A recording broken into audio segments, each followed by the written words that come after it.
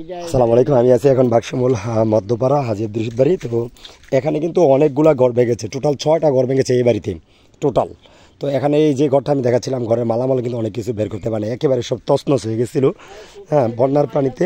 তো আপনারা, আপনাদেরকে আমি যদি কথা বলতে চাই যে এরকম ঘর কিন্তু তাদের এই বাড়িতে লুৎফা বেগম ওনার ভেঙেছে দুইটা ঘর ওই দিক দিয়ে জ্যাট সাংবাদিকের ঘর ভেঙেছে দুইটা, হুম, তারপর মৃত নজির আহমেদ, ওনারা ভেঙেছে দুইটা, ছটা ঘর ভেঙেছে।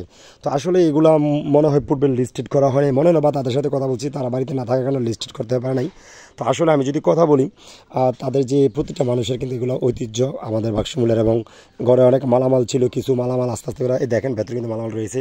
হয়তো আস্তে আস্তে একটা দুটো করে সরাইতেছে। তো আমরা আসলে, আমি আসলে আমার ফেসবুক পেজে মামুর হোসেন আইডি থেকে কিন্তু আমি সবসময় সঠিক যেগুলো আছে এগুলো তুলে ধরে আপনারা জানেন। গত বন্যার থেকে শুরু করে এ পর্যন্ত প্রতিটা জিনিস কিন্তু আমি তুলে ধরছি হ্যাঁ।